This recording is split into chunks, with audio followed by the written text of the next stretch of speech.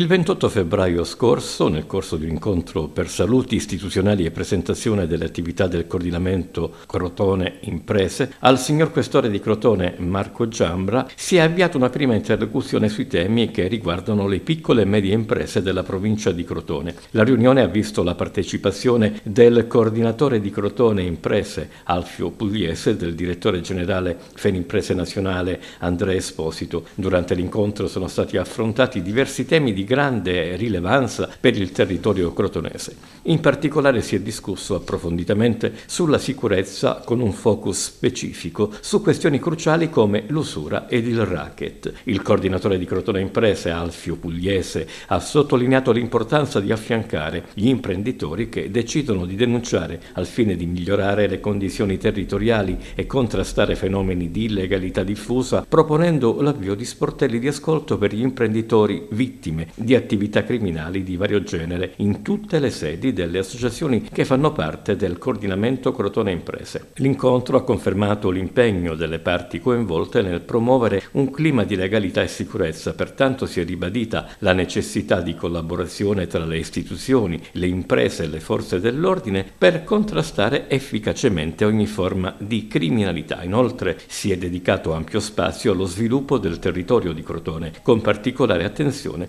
al al tema della bonifica e ai possibili appetiti della criminalità organizzata. Gli intervenuti hanno concordato sull'importanza di affrontare e risolvere le problematiche legate a questo settore con lo scopo di garantire uno sviluppo sostenibile per essere attrattori di nuovi investimenti del nostro territorio già profondamente provato nel corso degli anni da diverse crisi. Il questore Marco Giambra ha assicurato il suo impegno continuativo nella gestione e la risoluzione delle questioni questioni legate alla sicurezza della comunità crotonese, confermando la collaborazione sinergica con le parti coinvolte.